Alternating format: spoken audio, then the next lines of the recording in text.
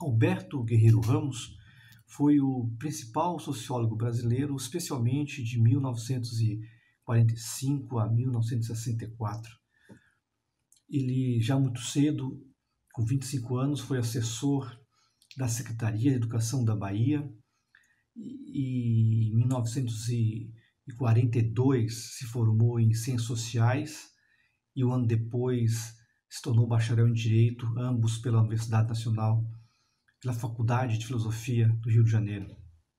Em 1954, ele se torna coordenador do Departamento de Sociologia do ISEB e vai até 58. Em 60, ele assume uma vida político-partidária, de militância, e se filia ao PTB.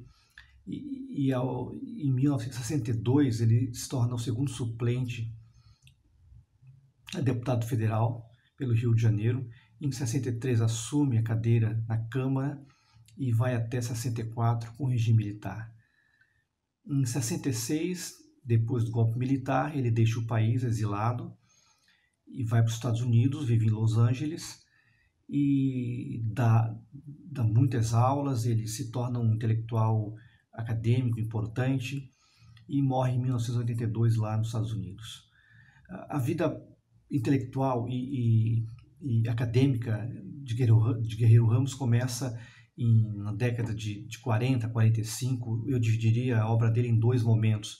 Um primeiro momento que vai de 48 até 58, o período em que ele está preocupado com a formação do pensamento sociológico nacionalista brasileiro. Eu destacaria desse período, tem inúmeros livros, eu destacaria A Redução Sociológica, um livro em que ele estabelece um método de assimilação crítica ou aquilo que ele chamou de método da, da assimilação de tudo aquilo que vinha do estrangeiro, não negava o, o valor das produções teóricas de fora do país, no entanto, elas deve, ela deveria uh, passar por um processo de assimilação crítica.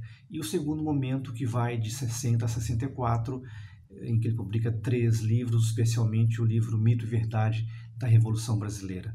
Uh, um livro em que ele, em que na visão dele era a primeira parte de um tratado da sociologia brasileira, um tratado da sociedade brasileira, estava preocupado, portanto, estabelecer a teoria do que do que foi o Brasil ou do que era até o momento o Brasil e se destaca nesse período a tese da Revolução Brasileira um livro fundamental para os dias atuais, um dia em que ele apresenta o, o, tratado da Revolução Brasileira, as teses, discute o Brasil a partir da premissa de uma revolução. Na visão dele, a década de 60 foi até o regime, era um período pré-revolucionário. Então, nesse livro, as teses estão colocadas.